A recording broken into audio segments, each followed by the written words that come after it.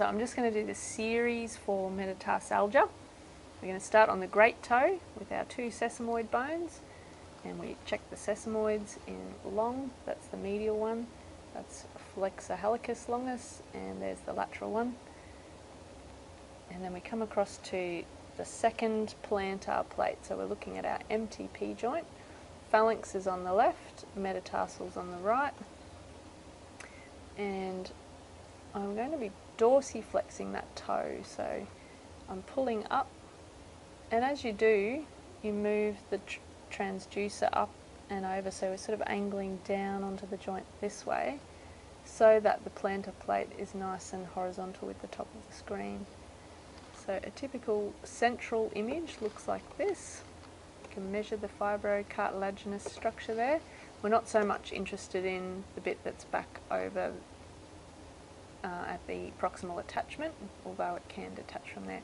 So by dorsiflexing, we're making sure that that plantar plate is attached to the phalanx on the left at this point. So it's anchored and then we need to assess it on the medial side. So you slide towards the big toe and then angle back at the side of the plantar plate. And if you're doing that correctly, you won't see too much tendon in the way. So this is the medial aspect of the plantar plate. And then we come across to towards the third toe and angle back at the second toe. And we can see the lateral aspect of the plantar plate things can be vastly different from medial to lateral, so it's important to not just examine it centrally. And then at this point we can also take a transverse image. So when you're on the phalanx, we see the bone is curved like this. When you're on the metatarsal, it's rounded in the opposite direction. So this is our metatarsal.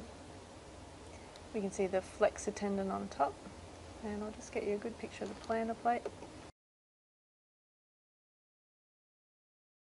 Alright, so then we move across to the third toe.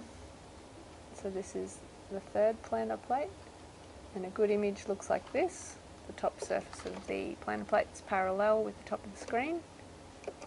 And then we move towards the second toe, angling back at the side so we can see the medial aspect of the plantar plate. Moving to look at the lateral aspect of that plantar plate. So they're the main toes that the plantar plate injuries occur, but we can include the fourth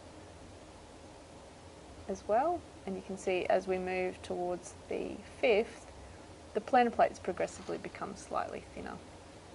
There's no set normal range for plantar plates, it's just a matter of examining them in comparison with the other side and deciding whether uh, it's flush with the bone. So most normal plantar plates the top surface is in line with the phalanx so that you can draw one straight line across.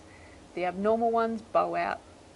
So that's what we do and then we do a web space assessment. So we'll change transducers for the web space assessment.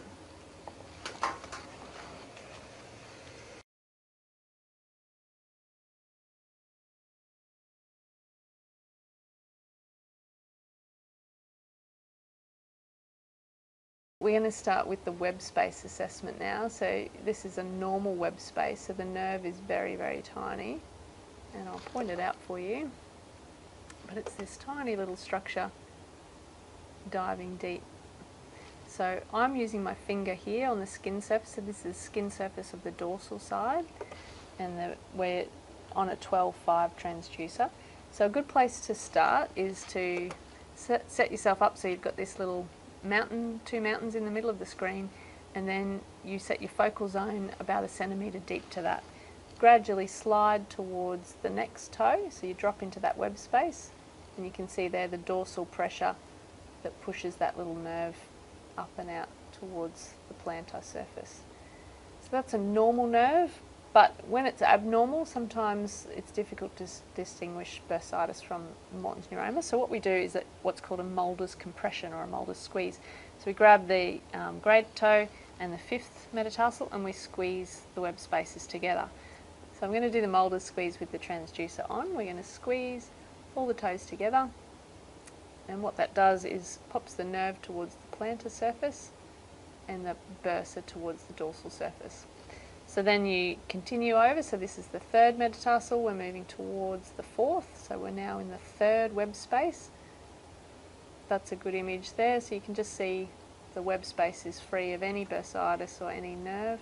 This is the Mulder's squeeze then. So now that's sort of popping the nerve up towards the surface. And the nerve is this part here. And so on, so you move towards the next web space. The, at the end of a forefoot assessment, it's a good idea to look dorsally as well, so we'll do that now. Don't forget the first web space, so the first web space, you can see the little bursa in there and the nerve over the top, so the nerve's very, very tiny. This is the interdigital nerve here. So it always starts to dive deep. Um, can you pop your foot flat? So a metatarsalgia, we sometimes look for Morton's neuromas dorsally as well. So obviously you're going to set yourself up with the camera overlapping the crease between the toes, the web space. So you'll want to see the joint. So once you can see the joint, you move your camera into the web space. And at this point you can slide your finger underneath to try and push that web space up towards the camera. And I'll just move into the next web space which is slightly wider. So moving your finger underneath you can see you're compressing that um, fat pad up into the web space and the nerve instead of diving away from you is going to be coming up towards the camera now so we're seeing the nerve coming up through here.